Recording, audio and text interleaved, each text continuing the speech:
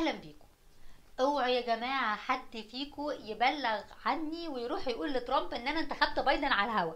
أرجوكم ترامب ناوي يرفع قضايا على الناس كلها وأنا بصراحة مش حمل لا قضايا ولا محاكم. أرجوكم من فضلكم. اللي فيكم عايز يعرف ليه ترامب زعلان ومخنوق وهيرفع قضايا وهيرفع قضايا عليه أصلا؟ اتفرجوا على الفيديو ده. معاكم رانيا سلطان ودي حكايات من الولايات.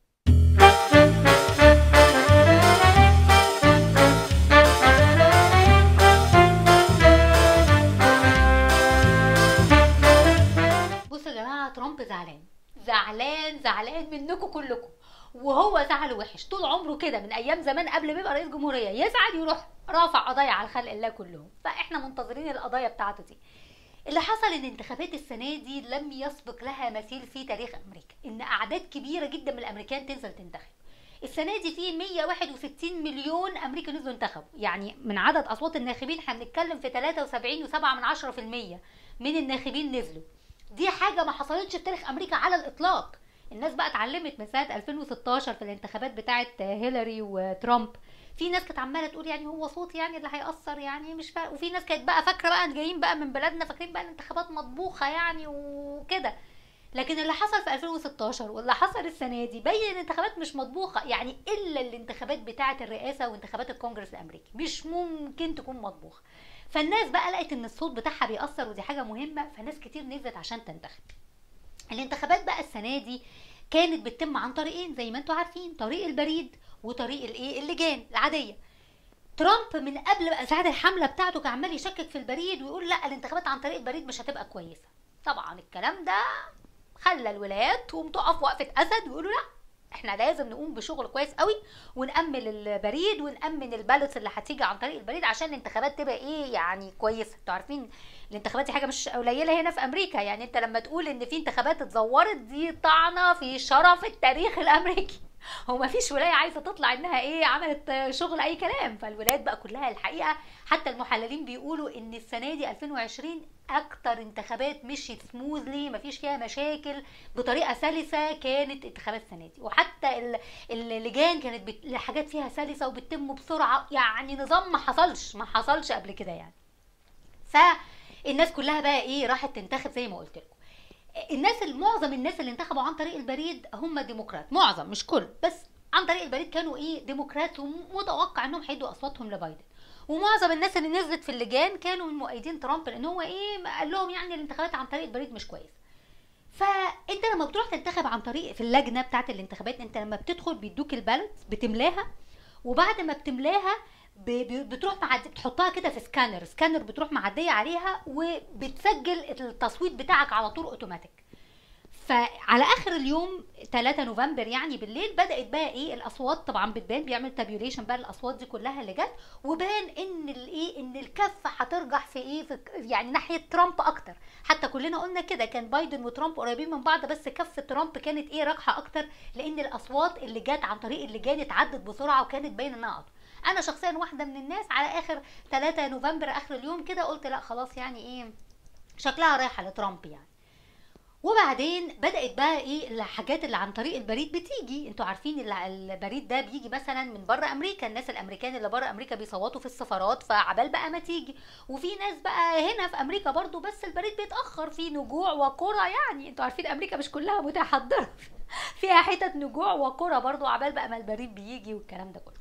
فالمهم بدأت بقى إيه يبتدي الولايات تعد الأصوات اللي جاية لهم عن طريق البريد لقوا الكفة بدأت ترجح ناحية إيه ناحية بايدن. وبعد ما بايدن كانت كفته خفيفة بدأت إيه تتقل تتقل تتقل تتقل لدرجة إن هي عدت ترامب. ترامب بقى اتجنن وراح طلع إيه يوم 3 نوفمبر بالليل بقى الفجر بتاع يوم 4 كده وقال إحنا إحنا كسبانين وأنا كسبان الولايات فلانة وفلانة. يعني إيه ادى الولايات بقى بنسلفانيا وويسكونسن مش عارفة إيه شوية ولايات كده ان هو متأكد ان هو كسبها وإن أي حاجة بتحصل هتكون إيه آه يعني تزوير في الانتخابات. فضلوا بقى يعدوا يعدوا يعدوا فبدأت الكفة ترجح ناحية بايدن أكتر. حصل جنان في الشارع. نزل بقى الناس اللي هم ال supporters بتوع ترامب وعملوا بلاوي بقى. نازلين بالطبول بتاعتهم وإيه وناس واقفة قدام اللجنة وتقول stop the count وإيه فور عد.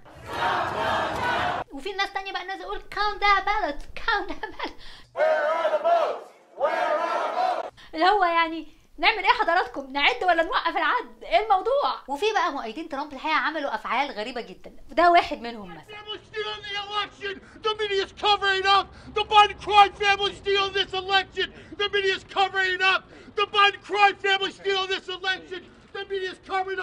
حاجة تكسف وتهبل للأسف يعني. ف... فالمهم بقى إيه أنا عايزة أوريكم فيديو كده جميل قوي بتاعة واحدة آه، باستر يعني رئيسه للكنيسه كده وكانت بتدعي بتعمل دعوات دعوه كده لترامب فدعت بالطريقة دي وخلت الناس كلها تتكلم عليه and strike and strike and strike. I hear a sound of an abundance of rain. I hear a sound of victory. The Lord says it is done. The Lord says it is done. Have even been dispatched from Africa right now. Africa right now. Africa right now. From Africa right now. They're coming here. Hamanda aka ata raka baka sanda ata ambo didi. اللي هو حضرتك عايزة الانجلز الملائكه بتوع أفريقيا يجوا عندكم ليه حضرتك؟ يعني هو ما فيش انجلز في أمريكا رايحين تجيبوا الانجلز بتاعت ما تسيبوا أفريقيا في حالها يا جماعة ما تسيبوا أفريقيا في حالها تعمل اللي هي عايزاه هتاخدوا حتى الملائكه بتوع أفريقيا يعني مش عارفة. لكن أهم حاجة في الفيديو ده الراجل اللي رايح جاي وراها ده الراجل ده بيعمل إيه؟ وماسك كده ما تفهمش دي فوطة اللي في إيده دي ولا مش الناس جاية منين يا جماعة؟ والله ده يعني فطستونا من الضحك. المهم إن ترامب بقى إيه؟ بدأ يتهم الولايات وقال هرفع قضيه على الولايات إن العد مش مظبوط. فقال إيه؟ هرفع قضيه على ميتشيجان وبعدين ولاية بنسلفانيا وبعدين ولاية جورجيا وبعدين بنسلفانيا. لو ثانية واحدة مش أنت قلت هترفع قضيه قال لهم أيوه هرفع قضيه بنسلفانيا مرتين. وبعدين نيفادا وبعدين بنسلفانيا. بنسلفانيا تالت؟ آه وبعدين أريزونا وبعدين جورجيا وبعدين بنسلفانيا. بنسلفانيا رابع. أربع مرات هترفع قضية على بنسلفانيا. هي بنسلفانيا دي ملهاش حد يسأل عليها ولا إيه يا جماعة؟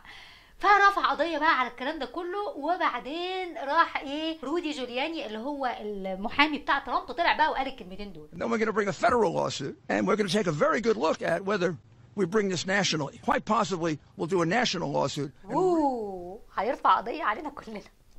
كل الأمريكان نفر نفر هيقفوا قدام المحكمة لأن ترامب متضايق من اللي هم عملوه. You think we're stupid? You think we're fools? آه. بصراحة آه. إحنا حاسين إن أنتوا fools ده حقيقة فعلا. أنت حطيت إيدك على النقطة الصح يعني.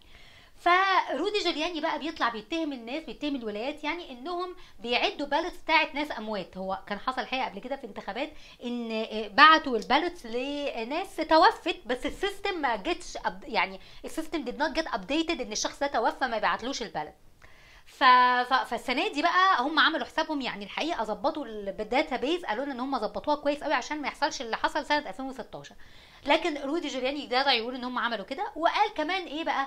قال إن إن جو بايدن نفسه ملا 50 بطاقة. يمكن ملا 500 ب- ballot 5000 ballot جو بايدن بقى قاعد فاضي بقى ماسك ال ballot عمال يمضي ballot ورا ballot فبيقول يعني إن إيه؟ إن في تزوير بيحصل وإن فجأة بيلاقوا ال ballot وال ballot بتجيلهم من يعني بتيجي متأخر. ده معناها إنها آه، ال ballots دي مزورة.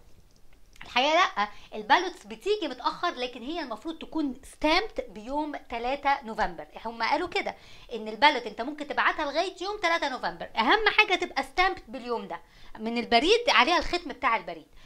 لو وصلت للجنة بقى يوم أربعة يوم خمسة يوم ستة دي حاجة بقى خاصة بالبريد وال- والنقل والطيارات والعربيات لكن أنت بعت ال ballot في الميعاد بتاعك. فقالوا stop the count الناس قالت له مفيش حاجة اسمها إن إحنا ن stop the count أي ballot تيجي لازم تتعد. يعني إيه اللي أنت بتقوله ده؟ وقال لهم بقى مثلا هديكم مثلا مثال على ولاية ويسكونسن. ولاية ويسكونسن دي كان الأول الاصوات جاية في رجح رجحه لترامب وبعد كده بدأ رجع الكفة بتاعه بايدن ترجح أكتر وأكتر وأكتر. ولاية ويسكونسن دي بالذات سنة 2016 أيام ما كان هيلاري وترامب طلبوا إعادة العد فيها. والحقيقة ترامب كسب فيها ب 23 صوت فقط. بس كان الفرق بينه وبين هيلاري 23 صوت وكسب الأصوات على ال 23 دول. المرة دي في سنة 2020 بايدن كاسب ترامب ب 20 ألف صوت. فقالوا له مش ممكن يا ترامب يكون يعني فرق في العد في غلط في العد يحصل ل 20 ألف. هو طبعا في نسبة error يعني أي حاجة في الدنيا الناس اللي عارفين statistics عارفين إن في نسبة error في نسبة خطأ دايما بتحصل سواء كان machine أو بني آدم. لكن النسبة مش ممكن توصل ل 20000 يعني دي حاجة مش طبيعية. فالمهم هو طلب إنه يتعد إعادة الأصوات وفعلا ويسكونسن دلوقتي بتعيد بتعيد إعادة الإيه؟ العد بتاع ال ballots تاني. هو طلب إعادة العد في ولايات تانية وفي ولايات قالت لهم ما عندناش مشكلة. نعيد نرجع نعد الأصوات تاني. بس إعادة العد ده هياخد لغاية 3 آه، ديسمبر مثلا ولا 4 ديسمبر. ف براحتك عايز تعد الولايات عندها استعداد ترجع عاد لذا في ولايات تانية قالت له إحنا مستعدين نفتح الأبواب بتاعتنا تيجوا تشوفوا اللي إحنا بنعمله. لأن هو كان بيتهم الولايات قال لهم في ولايات منع أعضاء الحملة بتوعي إنهم يخشوا يشوفوا العد لا هي الولايات بتسمح لأعضاء الحزب أعضاء معينين من الحزب إنهم يخشوا يتأكدوا إن كل حاجة بتتم كويس. ففي أعضاء من حزب ال Republican وأعضاء من حزب ال Democrats موجودين في لجان مختلفة عشان يتأكدوا. لدرجة إن في ولاية زي ولاية فيلادلفيا عملت streaming راحت فاتحة الكاميرات قدام ال- الأمريكان كلهم عشان يشوفوا إيه اللي بيحصل جوه اللجان والعد بيحصل إزاي. وأدينا كلنا كنا شايفين ال network فاتحة قدام كل ال networks سواء كان فوكس نيوز ولا سي إن إن ولا أي حد من ال networks. كانوا في يعني بث مباشر من جوه اللجان بنشوف العد بيتم إزاي.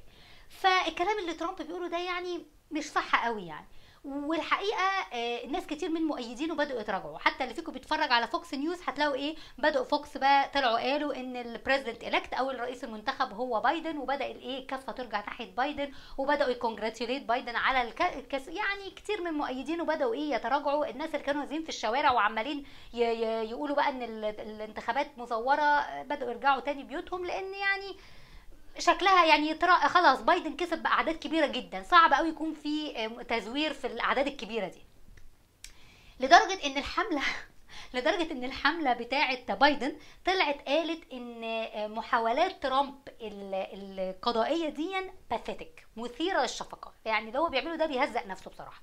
المفروض إن هو يطلع ويقول إن إيه إن خلاص وبيعمل بيعملوا حاجة اسمها كونسيدنج يعني آه، يطلع يقول خطاب إن هو موافق على النتيجة وإن هو موافق إن بايدن يبقى هو الرئيس بتاعه وكده. ده دايما يعني خطاب تنازل يعني. فالتاريخ أمريكا كلها المفروض إن في السباق بتاع الانتخابات اللي, خسر بيطلع الأول يقول خطاب. فبيطلع يقول إن هو يعني موافق على النتيجة وبيهنئ الرئيس وبيعني بروح رياضية كده وأخلاق عالية بيعمل الكلام ده. وبعدين الرئيس المنتخب بيطلع بقى يعمل إيه؟ الاحتفال بتاعه ويقول الخطاب.